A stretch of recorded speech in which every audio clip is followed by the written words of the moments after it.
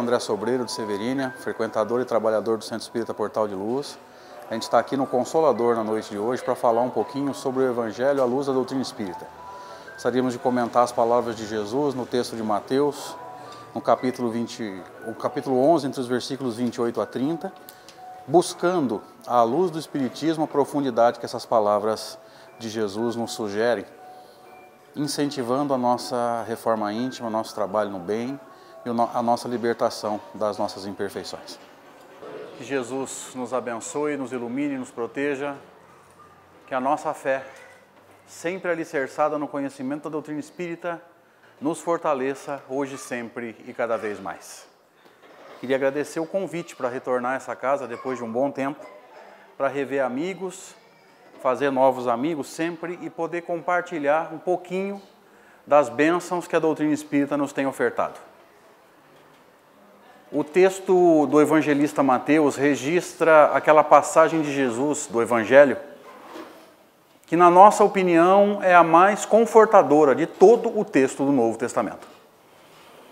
Essa passagem é tão sublime que, na hora de construir o capítulo 6 de O Evangelho segundo o Espiritismo, Allan Kardec escolheu essas palavras para comentar. Não tenho nenhuma dúvida de que o que eu vou falar agora não é novidade para ninguém, mas só para a gente relembrar.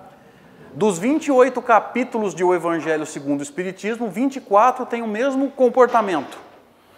Allan Kardec cita passagens do Novo Testamento, às vezes versículos, às vezes uma passagem mais longa, faz o comentário dele, Allan Kardec, e esse comentário dele é sempre pautado nas chamadas leis morais, terceira parte de O Livro dos Espíritos, e ao final de cada capítulo ele entrega a palavra aos Espíritos naquela parte que nós conhecemos como instruções dos Espíritos. Dos 28 capítulos do Evangelho, 24 tem esse mesmo comportamento. Um desses 24 é o capítulo 6, que tem exatamente esse comportamento. Allan Kardec escolheu passagens do Novo Testamento, fez o comentário dele, pautado nas leis morais, e entregou a palavra aos Espíritos. Uma dessas passagens é essa que nós vamos citar. Então aí a gente vai perceber a sublimidade dela, ao ser escolhida pelo codificador para nortear a fé da chamada terceira revelação ou do consolador prometido. Jesus nos diz assim: Vinde a mim, todos vós, que estáis aflitos e sobrecarregados, eu vos aliviarei. Tomai sobre vós meu jugo, aprendei de mim, manso, humilde de coração, e achareis descanso para as vossas almas, porque suave é o meu jugo e leve o meu fardo. Depois de alguns anos meditando sobre essas palavras, tentando buscar aquilo que a doutrina espírita nos ensina, o significado profundo, porque nós aprendemos com doutrina espírita que nós não aprendemos espiritismo na, na linha, nós aprendemos espiritismo na entrelinha, na interpretação do texto, com o máximo de profundidade que a gente consegue. Então, depois de alguns anos usando essas palavras, às vezes para encerrar uma palestra, às vezes em um seminário, depois de muitos anos, nós encontramos aí uma construção de conhecimento, um desencadeamento de ideias. Não obstante, ao dizer que as palavras de Jesus têm construção de conhecimento, ao dizer que as palavras de Jesus têm desencadeamento de ideias, a gente sabe que está chovendo no molhado. Porque dizer que Jesus está construindo conhecimento é chover no molhado, um espírito puro da escala espírita, jamais falaria ao acaso. Tudo que Jesus fez e disse sempre teve e sempre terá uma construção de conhecimento, alguma coisa sendo ensinada, alguma coisa sendo demonstrada. E é essa construção de conhecimento, é esse desencadeamento de ideias que nós gostaríamos de comentar na noite de hoje. Sempre deixando claro que é impossível no nosso nível evolutivo esgotar qualquer texto de Allan Kardec ou qualquer texto do Evangelho. Nós não podemos dizer texto de Jesus, porque Jesus não deixou nada escrito. Foi sempre a anotação dos seus discípulos. Mas nós não temos capacidade para esgotar. Porque estudar texto do Evangelho, estudar texto de Allan Kardec é como mergulhar no oceano. Nos primeiros mergulhos a gente tem pouquíssima profundidade por falta de prática, por falta de experiência. Então a gente vai até onde a gente conseguir. Jesus inicia o seu a, a sua fala fazendo-nos um convite.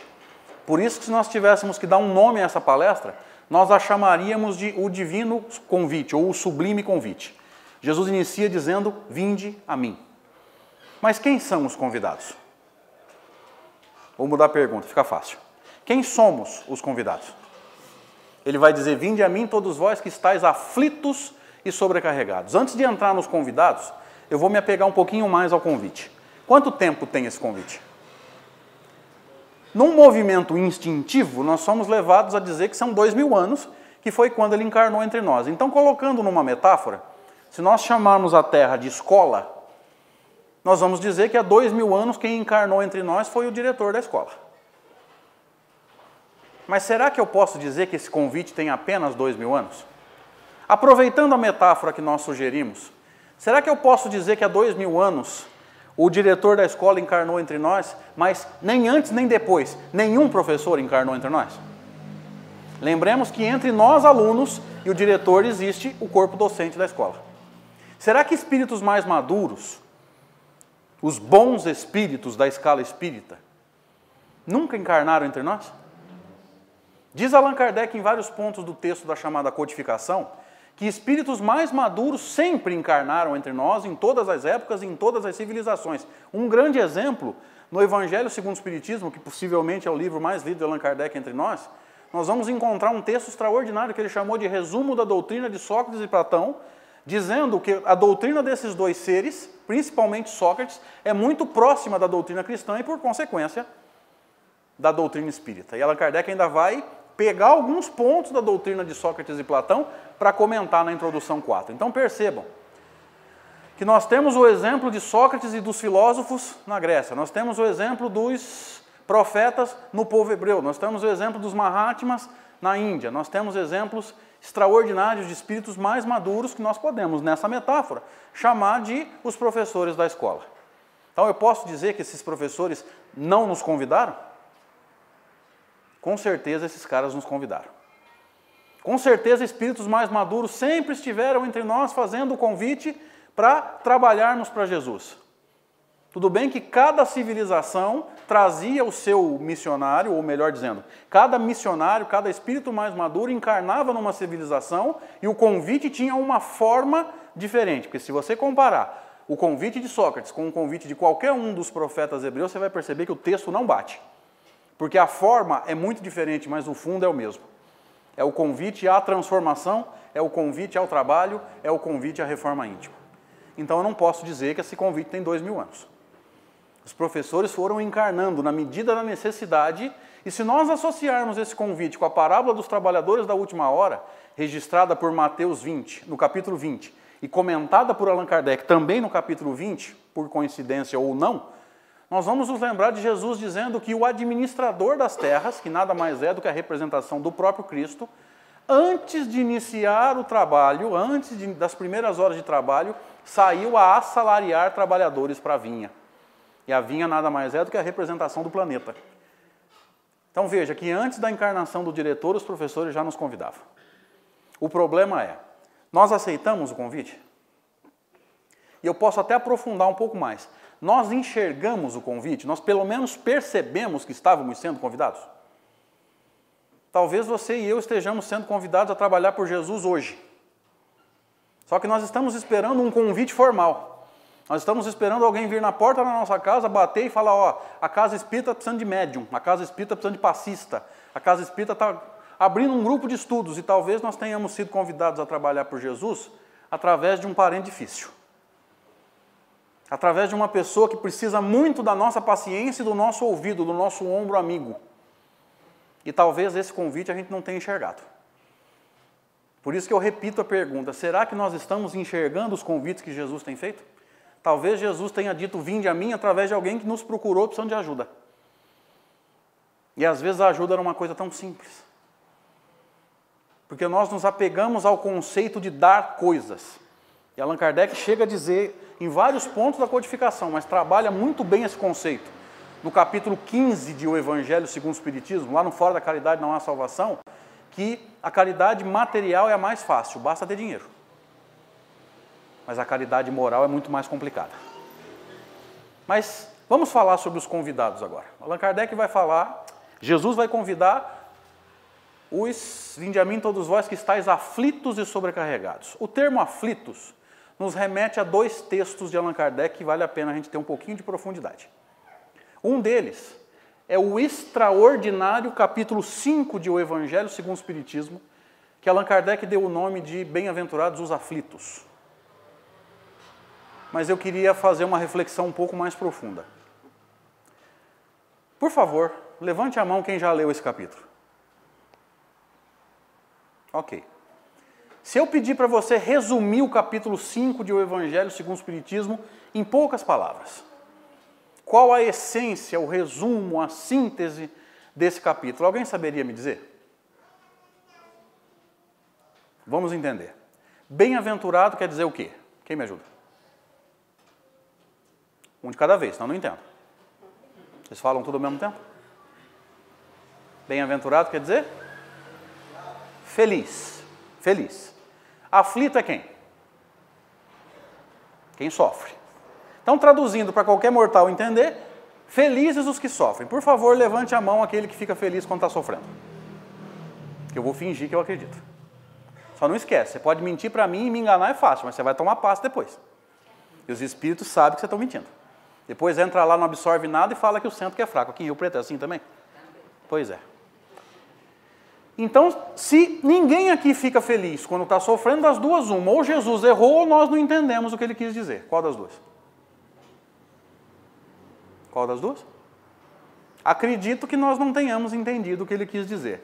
Repito a pergunta: qual a essência do capítulo 5 de O Evangelho segundo o Espiritismo? Allan Kardec escreveu aquilo para quê? E é um dos capítulos mais extraordinários de toda a obra de Allan Kardec. Kardec escreveu aquilo para explicar por que, que Jesus falou isso. Ao entender o capítulo 5, você vai entender por que, que Jesus está sugerindo que ao sofrer, a gente olhe para a gente mesmo e diga, eu sou feliz. Por isso que ele começou o capítulo 5 com um subtítulo extraordinário. E diga-se de passagem, todo capítulo bem escrito tem, nos primeiros é, subtítulos, o alicerce para você entender o resto do capítulo, senão o capítulo não foi bem criado. O primeiro subtítulo chama, chama Justiça das Aflições. Por que, que ele é importante e por que, que ele é o primeiro? Porque a gente jamais vai se enxergar como bem-aventurado ao sofrer se a gente não entender que o nosso sofrimento é justo e que não tem nada injusto acontecendo na vida de ninguém aqui. Diga-se de passagem, não tem nada injusto acontecendo em nenhum ponto do universo. Porque o Deus que a doutrina espírita ensina é um Deus absolutamente perfeito. Ele não erra. Entenderam por que esse subtítulo é o primeiro? Porque entender a justiça das aflições, tanto que o subtítulo é esse, é o primeiro degrau para você acalmar o seu coração nos momentos de dificuldade, de sofrimento, de provação e às vezes de expiação. Mas esse texto, essa citação de Jesus aos aflitos, nos remete a outro texto de Allan Kardec que confirma e expande o pensamento. No livro O Céu e o Inferno, quarta obra da codificação, expansão do livro 4 do Livro dos Espíritos. É ali que Allan Kardec, na essência, retira dos espíritos, através das perguntas, todos os conceitos que seriam usados e expandidos através de comentário no livro O Céu e o Inferno. No capítulo 7, tem um texto que nós precisamos estudar. Chama O Código Penal da Vida Futura. Aliás, eu não conheço um livro melhor que o livro O Céu e o Inferno para a gente entender justiça divina, que é exatamente esse o subtítulo do livro. O céu e o inferno ou a justiça divina segundo o Espiritismo. Lá no Código Penal, você vai perceber a porção ou a feição pedagogo de Allan Kardec. Você vai ver por trás de Allan Kardec a personalidade do pedagogo Hippolyte Leon Denizar Rivaio. Porque ele não economizou comentários para nos ajudar a entender o Código Penal da Vida Futura. Ele dividiu todo o código em 33 itens, quer dizer, muito bem explicados. E no item 33, ele faz um movimento que eu acho extraordinário e já vi Kardec fazer isso em outros pontos da codificação. Ele faz um resumo de tudo que ele tinha discutido. Então ele vai dizer assim: apesar da diversidade de gêneros e graus de sofrimento dos espíritos imperfeitos, O Código Penal da Vida Futura pode se resumir nesses três tópicos. Então, o item 33 tem uma introdução e três subitens. E o primeiro calha muito bem com os aflitos que Jesus convidou. Kardec diz assim: o sofrimento é inerente à imperfeição. Inerente é um termo que o codificador usa muito na codificação. Significa naturalmente ligado ou naturalmente conectado a alguém ou alguma coisa. Então vamos interpretando. O sofrimento é naturalmente ligado à imperfeição, para qualquer um entender. Todo espírito imperfeito sofre. E o termo imperfeito já nos joga para outro texto de Kardec. Que é um texto que nós espíritas, principalmente dirigente de casa, dirigente de reunião de estudos, dirigente de reunião mediúnica, precisa se debruçar sobre ele. Allan Kardec chamou de a escala espírita. Livro dos Espíritos, do item 100 até o item 113. Que não dá para chamar de pergunta, porque é um texto grande, profundo, que a gente precisa se debruçar sobre ele com muita atenção e muito carinho. Porque nos debruçando sobre esse texto, a gente vai perceber que cada um de nós aqui, encarnado ou desencarnado, só oferece aquilo que tem. E não é porque alguém desencarnou que ele virou santo, ou virou sábio, ou virou espírito de luz.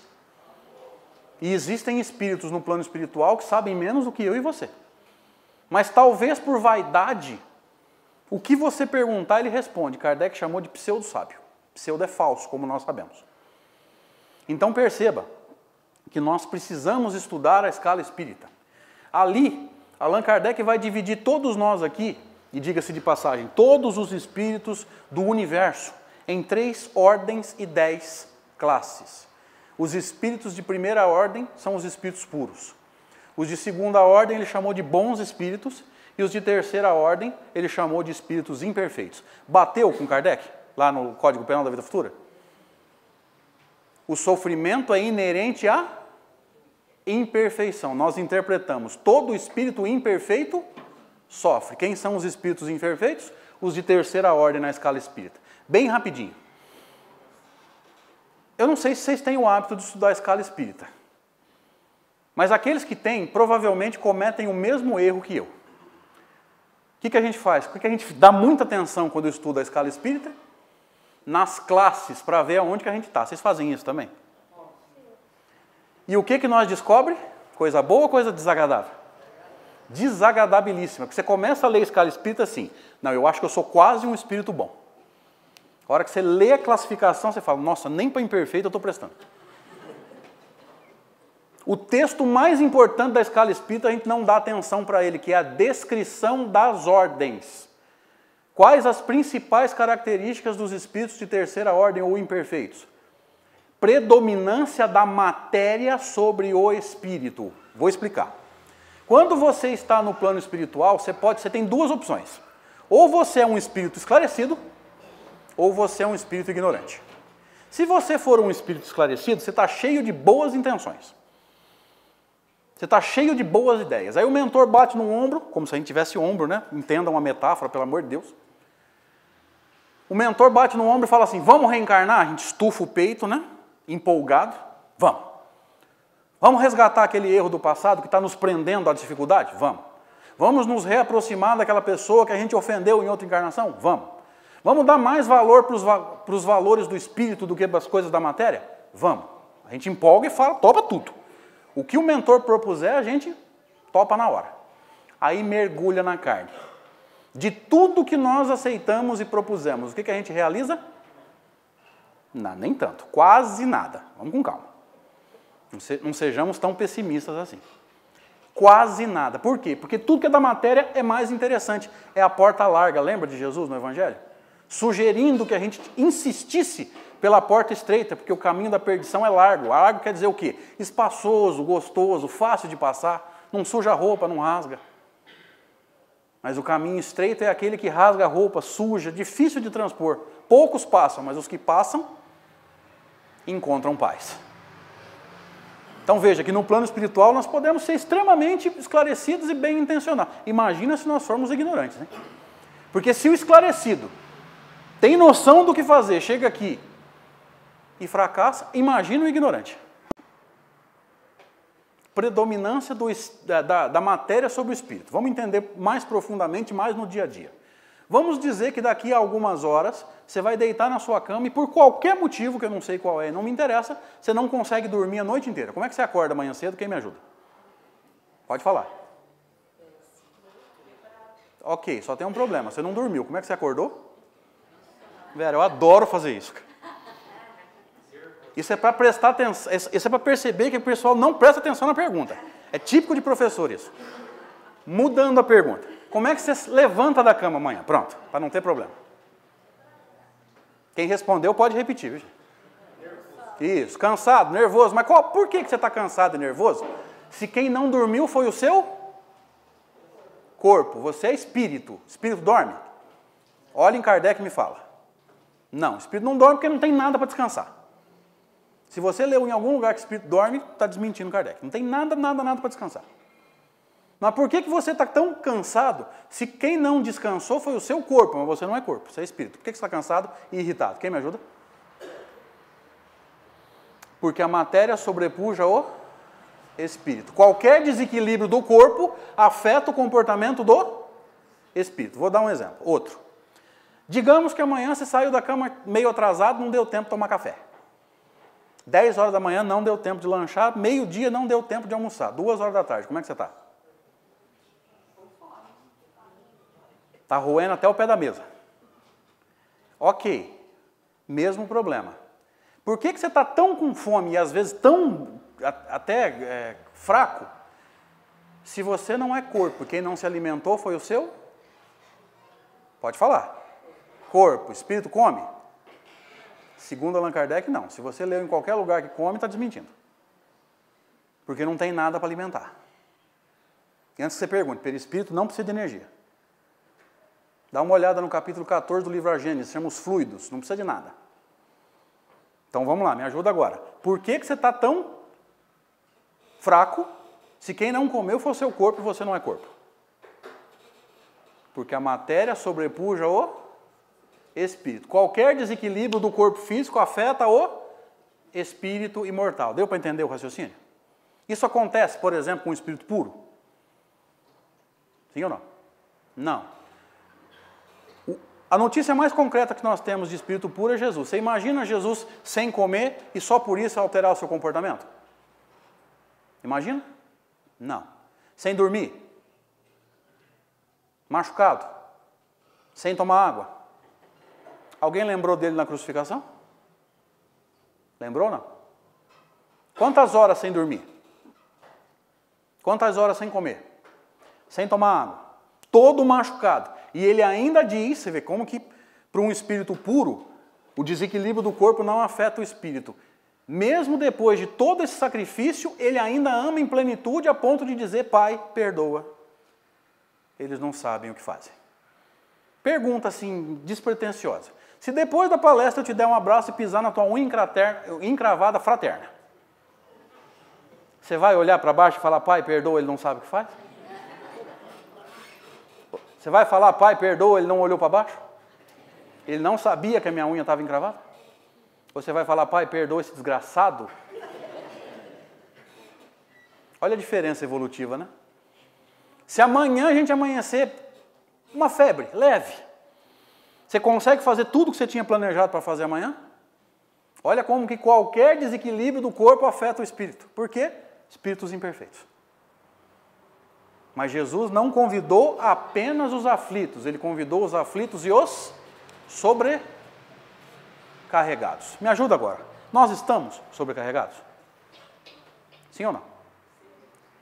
Por quê? Eu concordo que nós estamos, eu não estou desmentindo, mas por quê?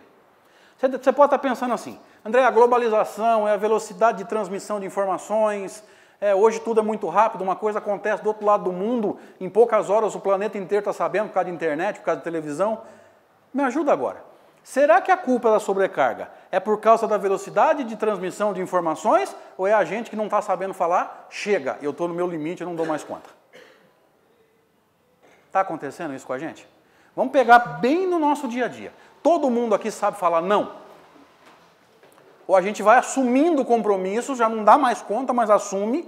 Ah, porque se eu falar não, a fulana vai ficar brava comigo. Se eu falar não, o fulano vai ficar chateado comigo. E depois a gente olha a agenda e fala: Meu Deus, não vou dar conta.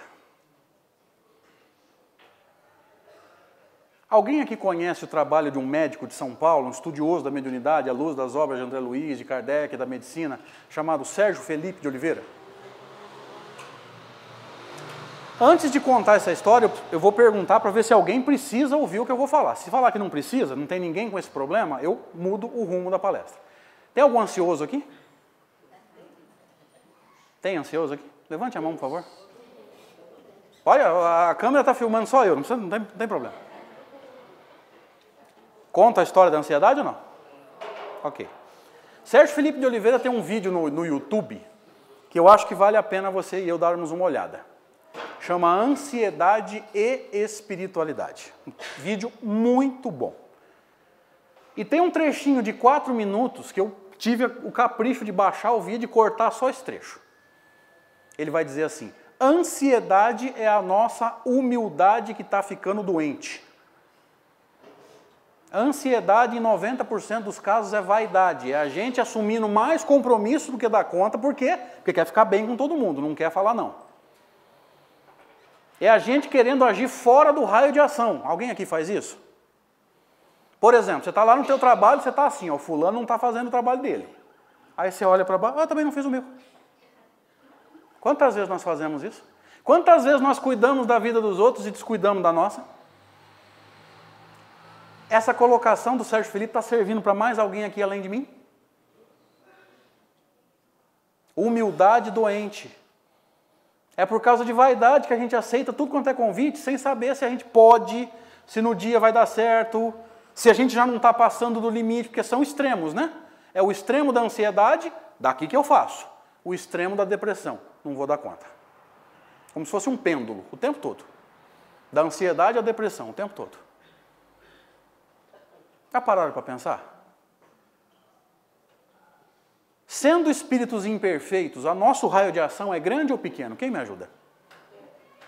Lembra a parábola dos talentos? Cada servo recebeu um número X de talentos de acordo com a própria capacidade. Se nós somos espíritos imperfeitos, a nossa capacidade é grande ou pequena? Pequena. Nosso raio de ação é grande ou pequeno? Nosso raio de ação é minúsculo, mas quantas vezes a gente quer agir fora dele? As pessoas descobrem que a gente faz estudo na internet, faz palestra, às vezes adicionam a gente no Facebook para pedir ajuda. Outro dia uma senhora me chamou e falou, André, eu estou desesperado, eu preciso de ajuda. Eu falei, deixa eu ver como é que eu posso te ajudar, né? André, meu filho está saindo de casa. Eu falei, não, realmente, para uma mãe, um filho saindo de casa deve ser um desespero, né? Quantos anos ele tem, minha filha? 50. Eu, essa mulher está me zoando, cara. Eu pensei comigo, isso é zoeira, não pode ser verdade, não. Falei, bom, deixa eu investigar, né? Qual que é a sua aflição, filha? André, será que ele está comendo? Ele, não, ela está zoando comigo, não é possível. Falei, filha, se ele tiver fome, mas nem que for um raio de um pedaço de queijo no meio do pão. André, será que ele está se agasalhando? Era novembro, estava um calor. Falei, impossível, mas se ele tiver frio, ele se vira. Agora eu vou pegar essa situação e vou aplicar na prática. Você, mãe, mãe, avó, tanto faz. Quando você diz assim, eu crio meu filho para o mundo, não para mim. Você acredita? Se você acredita, essa é exceção à regra. Só que você já parou para pensar, e aqui, pelo amor de Deus, gente, eu não estou buzinando no ouvido de mãe, eu espero ser pai e vou ter os meus problemas. Mas a gente já parou para pensar que vai chegar um momento em que o nosso filho vai ter o raio de ação dele. E a gente não vai poder ficar se metendo. Me ajuda agora. Nossa humildade, como disse o Sérgio Felipe, está doente? Nossa humildade está em estado terminal, gente. Com o perdão da brincadeira. Nós estamos querendo cuidar da vida dos outros. Nós estamos querendo cuidar do mundo. O Sérgio faz essa brincadeira. Por que, que o mundo é assim? Ninguém pediu minha opinião. A gente extrapola. O problema é, a gente não dá conta do que tem no nosso raio de ação e quer agir fora. É aí que está o problema. Porque nós não entendemos que para fazer a ação se expandir, eu não tenho que agir fora dele, eu tenho que dar conta do que tem dentro. Quando eu der conta, pela lei do progresso, o que acontece? Ele se expande naturalmente. Então o que eu tenho que fazer para expandir? Agir fora ou dar conta? Eu tenho que dar conta do que está ali dentro. Então veja, eu gosto muito dessa colocação do Sérgio Felipe. Nossa humildade está doente, é vaidade de querer estar tá bem com todo mundo. É vaidade do passo maior do que a perna. Nossa humildade está em estado complicado. Nós vamos falar sobre isso um pouco mais a tempo, se o tempo, um pouco mais à frente, se o tempo permitir. E Jesus vai dizer, encerrando o primeiro versículo: Vinde a mim, todos vós que estáis aflitos e sobrecarregados, e eu vos. Por que, que ele prometeu só o alívio e não a cura? Há dois mil anos atrás ele encarnou entre nós. Me ajuda agora. Ele fez curas. Entre os milagres de Jesus existem curas? Sim ou não? Sim. O que, que ele curou? Espíritos ou corpos? Pode começar a ficar bravo comigo. Só corpos. Nem Jesus tem o poder de te curar como espírito imortal, porque ele ensinou o caminho, mas não pode caminhar por nós.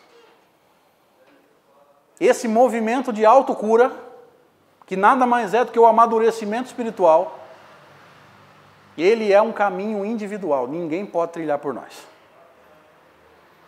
E fica fácil de entender quando nós nos lembramos que Jesus ficou mais de 30 anos entre nós e nunca ficou doente. Alguém ouviu falar que ele ficou doente nesses 30 e tantos anos que ele teve encarnado entre nós? Por que, que esse homem não ficou doente, gente? Ele não tinha as condições que nós temos. De Jerusalém, desculpa, é, de Cafarnaum a Jerusalém, tinha mais de 150 quilômetros, ele não tinha carro. Então, se desse o problema do combustível aí, para ele não fazia diferença. Ele tinha sandal 50? Tinha. Ele vivia no deserto. Ele tinha água mineral? Tinha. E por que, que esse homem não ficou doente, gente? E nós, com condições muito melhores do que a dele, 3 por 4 a gente cai. Pensa o seguinte: qual é a vibração de um espírito puro? Boa ou ruim? Tão boa que ele se mantinha saudável, mantinha o próprio corpo saudável e curava quem se aproximasse e merecesse. Lembra daquela mulher que tinha um fluxo de sangue há 12 anos? Aproximou, tocou na roupa, não foi nele. E encontrou a cura, porque ele era uma bomba ejetora. Quem merece é bomba sugadora. O passe é a mesma coisa. E nós sofremos as agressões de fora para dentro. E de dentro para fora, o que, que a nossa vibração faz? Jesus tinha uma vibração sublimada de dentro para fora. Então a de fora para dentro agredia, a de dentro para fora compensava com sobra, e a nossa? A vida nos bate de fora para dentro, de dentro para fora, o que, que a gente faz? Acaba o serviço. A gente vive estressado, reclamando. Tudo isso para dizer o seguinte: cura de verdade é de dentro para fora. O que vier de fora para dentro seja medicamentoso, seja a energia do passe, é tudo acessório. Ajuda? Me ajuda. Ajuda ou não? Ajuda, mas cura? Não. Cura é movimento interno. Só para você entender, se você tem depressão, tem que tomar antidepressivo? Tem ou não? Com certeza. Deus não nos deu medicina e farmácia à toa. Só que o remédio, farmácia, ou mesmo passe tratamento, é de dentro para fora ou de fora para dentro? Sempre de fora para dentro. Vai te ajudar. Mas se você não fizer o movimento interno, aí é de dentro para fora. De descobrir por que, que você é ansioso, por que, que você está depressivo, você vai se entupir de remédio pro resto da vida. Então procura ajuda. Psicologia é uma área da ciência seríssima e útil. Seríssima. E quando bem, é, quando bem conduzido, o processo leva a melhoras extraordinárias. Porque é tirar o que está no teu inconsciente te incomodando, você não percebe, e puxar para o consciente para você poder ir se policiando. Muda completamente a tua vida. Mas Jesus nunca ofereceu cura. Por quê? Porque ele não pode fazer isso. Espiritualmente, não. Espiritualmente, a cura é um processo interno. Tem que fazer o seu movimento. Que movimento é esse? O que eu tenho que fazer para aceitar o convite de Jesus? Será que basta levantar o dedo e falar, Senhor, eu aceito o convite? O convite? Hashtag partiu Palestina? Isso é fácil.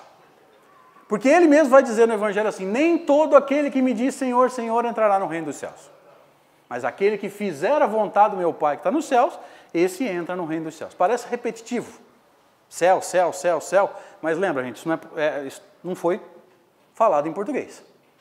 Então a repetição de termos para eles lá era normal. O que, que eu tenho que fazer? No versículo 29, ele vai dar o roteiro dessa, desse processo. Primeiro, tomai sobre vós o meu jugo. Na Bíblia, o jugo era uma peça de madeira, uma forquilha virada para baixo, colocada nas costas de um animal que ia puxar um arado. Qual o objetivo do jugo? Controlar o animal. Então vamos entendendo a ideia. O jugo nos remete ao conceito de domínio. Por que, que Jesus encerra a passagem dizendo assim: Meu jugo é suave? Porque ele não domina, ele liberta. Ele ensina o caminho, mas se você falar não vou trilhar, ele respeita o seu livre arbítrio, o teu direito de escolher. Se você lê o, do, o livro há dois mil anos, salvo engano, no capítulo 5, você vai ver um diálogo entre Jesus e Públio Lentulus, que é a encarnação de Emmanuel, o personagem da história. Você vai se lembrar de Jesus dizendo assim para ele: Está no teu querer, seguir-me agora ou daqui a milênios. Então veja, Jesus teve o diálogo, ensinou o caminho, mas pegou pela orelha para levar? Não, o Espírito Superior não faz isso. Capítulo 23 do livro dos médiuns, da obsessão. Todo tipo de constrangimento, e constranger é forçar alguém a fazer uma coisa que ele não quer fazer, Todo tipo de constrangimento é característica de espírito imperfeito e inferior. espírito superior aconselha, combate a influência dos espíritos mais atrasados. Se a gente não ouve, eles nos, entre aspas, abandonam. Por que, que eu pus entre aspas? Porque abandonar não é no sentido de te deixar. Na verdade, eles usam o termo afastam-se. Não é no sentido de abandonar, é no sentido de deixar a gente plantar o que quiser para aprender com a colheita. Então veja, a primeira coisa que Jesus faz, liberta. André, libertar do quê? Primeiro e principalmente de nós mesmos. Libertar cada um de nós das imperfeições que estão nos prendendo aos ciclos de dor. Porque se a gente não está amadurecendo espiritualmente, é porque nós não estamos limpando o nosso interior das nossas imperfeições, que é o que Allan Kardec diz no Código Penal da Vida Futura, lá no item 33, no segundo parágrafo. Toda imperfeição e toda falta dela consequente pode parar. A falta, o pecado, o erro é consequência de uma imperfeição. Agora me ajuda. Quando é que a gente cresce espiritualmente? Quando a gente resgata erro do passado ou quando a gente limpa imperfeição? Pode falar. Ninguém cresce espiritualmente resgatando o erro do passado, embora seja importante. Que a gente tem que se desamarrar dos erros. Mas se você se desamarra de um erro do passado, que é a expiação, e não aprende para corrigir a imperfeição, quando a gente é testado de novo, o que, que pode acontecer? Você pode cair no mesmo erro? Faz sentido? Faz ou não? Então veja que o que nos faz crescer não é libertar-se do passado, é corrigir imperfeição, porque aí a gente não erra mais.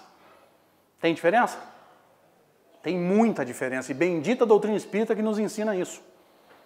Então, tomai sobre vós o meu jugo. Aprendei de mim. Eu falei, como assim? Como que um espírito desse nível fala assim, aprendei de mim? Que significa, na prática, aprende comigo. Parece uma coisa orgulhosa?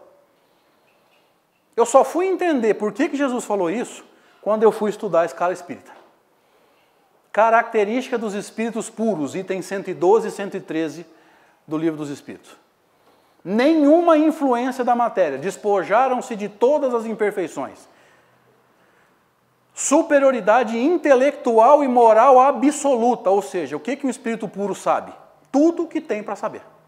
De todas as ciências, de todos os planetas, de todos os sistemas, de todas as constelações, de todas as galáxias. A única coisa que o Espírito puro não sabe é aquilo que é de Deus. O resto ele sabe. Aí eu entendi o que é um espírito puro e vi que ele tem o direito de dizer, diga-se de passagem. É o único espírito que tem o direito de dizer: aprendei de mim. Jesus é o único ser que tem o direito de dizer: o Pai e eu somos um. E aí a gente vai entendendo quem é esse homem. E o que, que eu tenho que aprender com Jesus, lembra? Manso e humilde de coração. E a doutrina espírita é um negócio tão abençoado que se você abrir o Evangelho segundo o Espiritismo, você vai lembrar que Allan Kardec comentou as duas características. Tem um capítulo lá que chama Bem-aventurados os mansos e pacíficos, lembra? E tem um outro chamado Bem-aventurados os pobres de espírito, que Allan Kardec inicia o capítulo ensinando para a gente que pobre de espírito quer dizer humilde. Olha a didática dele.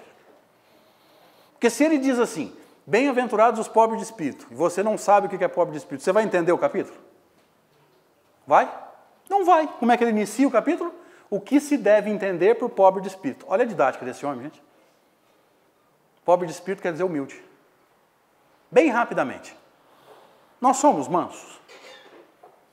Vou usar a outra linguagem. Somos pacíficos? Temos paciência? Você quer entender se você é pacífico ou não, se você é manso ou não, se você tem paciência ou não? Presta atenção no que você faz quando você quer ir por um caminho e a vida te obriga a ir por outro. Quando você quer fazer uma coisa e a vida não deixa. Porque ter paciência, por exemplo, dentro de uma casa de oração dessa, qualquer um. Talvez você está com vontade de virar para mim e falar assim, André, eu me sinto tão bem aqui dentro. Eu falo assim para você, ah, vá. Se você conseguir passar mal aqui dentro, parabéns para você. Com, todo a, com toda a proteção espiritual que nós temos, e que não é aqui nas, nos limites da casa, 70, às vezes 100 metros para cada lado, já estão nos protegendo. Já está começando uma filtragem espiritual. Se a gente entrar aqui e passar mal, pelo amor de Deus. Agora, Avenida Badibacite, 4 horas da tarde, que no horário de verão é 3. Teu carro não tem ar-condicionado. Todo mundo buzinando porque está com pressa. Do teu lado para um carro ouvindo sertanejo universitário e do outro para um carro ouvindo funk. Nessa situação extrema, quase treva, você você consegue manter a calma? Se você consegue, você bate no peito e fala assim: graças a Deus eu estou amadurecendo. Por que, que eu estou brincando com isso? Porque paciência a gente testa quando alguém agride. Se a tua vida está uma moleza, ninguém amadurece. Por isso que o livro dos Espíritos diz claramente: os Espíritos se instruem pelas vicissitudes da vida e a gente foge delas. Ninguém amadurece sem enfrentar dificuldade. Não é que a gente nasceu para sofrer, a gente nasceu para enfrentar dificuldades para amadurecer. Se a tua vida está uma moleza, o dinheiro está bom, a casa está boa, você amadurece? Ninguém amadurece na moleza, não existe isso, a gente precisa entender. E humildes nós somos? Somos? No capítulo 7 do Evangelho segundo o Espiritismo, os Espíritos têm uma colocação que a princípio eu não entendi. Demorei anos para entender. Eles disseram assim: a humildade é uma virtude bem esquecida dentre vós. Eu falei, como assim? Depois eu fui entender, gente, nós nem sabemos o que é humildade. Nós estamos tão acostumados a fazer um movimento, lá em Severina a gente chama contar papo. Todo mundo sabe o que é isso? Sabe? Quem não sabe, levante a mão, por favor. Contar papo é ficar falando o que a gente faz. Eu sei, eu faço, eu tenho, eu leio, eu, ó, o eu, né, exacerbado. A gente está tão acostumado a fazer isso que se alguém sentar do nosso lado e não fizer, a gente fala assim: Isso aí não é humilde, não, isso aí tem autoestima baixa. Ele não fala dele. E aí eu me lembro de Chico Xavier. Muitas vezes os biógrafos nos dizem que os, as pessoas chegavam, né, Chico Xavier. O cara chegava com o ego aflorado e começava, Chico, eu sei, eu faço, eu tenho, eu, eu, eu, eu, eu, eu, e o Chico, ô oh, meu filho, que bom. Continua fazendo, Jesus vai precisar de você, você está sendo preparado. Por quê? Porque quem ama não bate de frente. Quem ama incentiva. E se alguém fizer isso para nós? Senta do teu lado e começa. Eu faço, eu tenho, eu, eu, eu, eu. O que, que nós faz? Olha de lado e fala assim: Eu também tenho. Eu também faço. Eu também sei. Você já viu diálogo entre dois orgulhosos? Sim ou não? Não, porque não existe, não é diálogo, são dois monólogos. Eu sei, eu também sei. Eu faço, eu também faço. Eu tenho, eu também tenho. Chega uma hora que ninguém tem mais nada para contar papo, eles voam na garganta um do outro. E a, começa, e a conversa começou bem. Não era para brigar. Então veja, a gente nem sabe o que é humildade, a gente ainda confunde humildade com autoestima baixa. Mas vamos amarrando o raciocínio. E se eu fizer isso? E se eu me libertar, que é o primeiro recomendação de Jesus? Tomai sobre vós meu jugo. Jesus não prende, Jesus liberta. Tomai sobre vós meu jugo, aprendei de mim manso e humilde de coração. Então, se eu me libertar e me tornar mais manso e mais humilde, a minha vida muda? Sim ou não? Se eu mudei o plantio, a colheita muda?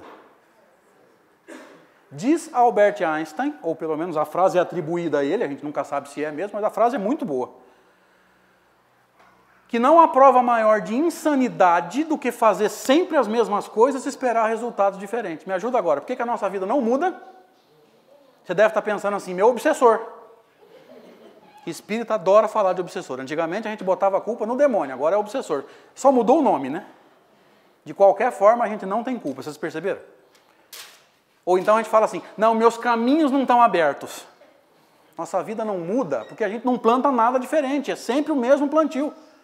Diga-se de passagem: 10, 15, 20 encarnações fazendo sempre as mesmas coisas e, em geral, caindo sempre nos mesmos erros. Então, se eu mudei o plantio, a colheita muda? Se eu me libertei, comecei a pensar pela minha cabeça, me tornei mais manso e mais humilde, a vida muda? Qual é a recompensa ou a colheita? O que, que Jesus diz no final do versículo 29? Achareis descanso para as vossas almas. Me ajuda agora. O que, é descanso para a alma? Aposentadoria? Aposentadoria talvez seja descanso para o corpo, porque talvez nós conheçamos pessoas que aposentaram e estão depressivas. E seria muito bom a gente começar a pensar desde já. Eu tenho tanto tempo para aposentar. O que, que eu vou fazer para ocupar o meu tempo? Porque para espírito imperfeito, aquele ditado antigo, lembra? Cabeça vazia, para o espírito imperfeito isso é válido. Viu? Tudo bem, você não acredita no diabo, mas acredita em espíritos imperfeitos e sabe que nós somos influenciáveis. Então o espírito imperfeito tem que manter a cabeça ocupada e com coisa boa. Sempre pensando, o que, que eu posso fazer a mais? Mas cuidado para não dar o passo maior que a perna, lembra do raio de ação? Mas dá para a gente trabalhar sempre e cada vez mais, crescendo no ritmo certo. Então, descanso para as almas não é aposentadoria? Não. O que é descanso para as almas? Vida, vida mansa. Vou refletir de forma bem superficial, porque o tempo não permite. Se você é um espírito imperfeito como eu, vivendo num mundo de expiação e provas, você pode esperar a vida mansa? Pode? Se o livro dos Espíritos nos diz, repito, que é pelas dificuldades da vida que nós nos instruímos, você pode esperar a vida mansa? Ou seja, se eu me instruo pela dificuldade, a dificuldade para, eu paro de me instruir, é isso? É ou não? Então nós vamos ter que enfrentar a dificuldade, não vamos? Posso esperar a vida mansa? E aqui, pautado nos textos de Allan Kardec, eu tenho uma péssima notícia para alguns aqui. Se você está esperando o mundo de regeneração em 2057, eu tenho uma péssima notícia para você. Pode esquecer. Porque diz Allan Kardec que os espíritos não colocam datas. E segundo o que nós estamos encontrando no nosso planeta, inclusive no Brasil, você põe a mão no coração, pelo menos espiritualmente, e me fala: o mundo de regeneração está perto? Nós ainda temos guerra. Nós ainda corremos risco de guerra mundial. No Brasil nós temos corrupção à torta e à direita. Onde que o mundo de regeneração está ali, gente? Vão ser séculos de trabalho se a gente enfrentar o trabalho e sair desse marasmo de ficar só atrás de passe e de água energizada. Aqui em Rio Preto é assim também? Mais ou menos? Que coisa. Ai de nós se a gente não enfrentar o trabalho no bem e as imperfeições que estão dentro. Tem que olhar para dentro para achar. Meu Deus, o que é descanso para as almas então? O descanso para as almas é uma mudança de paradigma tão profundo, mas tão profundo que a gente não entendeu. E eu vou começar a explicar com uma pergunta. Há dois mil anos atrás, como nós sabemos, Jesus encarnou entre nós. Nós gostamos tanto do recado dele que o que, que nós fizemos com ele? Pregamos na cruz. Olha como é que nós gostamos dele. Ele nos perdoou rapidamente, sim ou não? Me ajuda, sim ou não? Garanto que não. Porque um espírito desse nível não se ofende. Se ele não se ofendeu, ele tem alguma coisa para perdoar? Olha a paz que ele tem por dentro. É uma alma que descansa. Alma que descansa não é alma que não apanha da vida. A alma que descansa é aquela que não se sente agredida. Então a vida vai bater. Como vai continuar batendo em todos nós, porque nós somos imperfeitos e temos que enfrentar dificuldades. Então não é a vida que vai amansar. Nós é que vamos ter que amansar por dentro, porque nós somos mais libertos, mais mansos e mais. Tomai sobre vós meu jugo, aprendei de mim manso e humilde. Então vamos lá. Mais liberto, mais manso e mais humilde. Agora vocês entenderam. Quem se liberta, se apazigua e aprende a humildade, não deixa de apanhar, apenas não se sente agredido. Então, um dia virá em que as pessoas vão fazer o que elas gostam de fazer com a gente. Porque aqui, trabalhar essa paz e essa humildade significa é, enxergar o seguinte: quem faz coisas para nós que nós não gostamos, nem sempre é maldoso, viu? Às vezes é o melhor que ela tem para oferecer dentro do contexto de vida dela. Talvez seja uma pessoa extremamente agressiva de outra encarnação e que já melhorou. E eu diria até, provavelmente melhorou.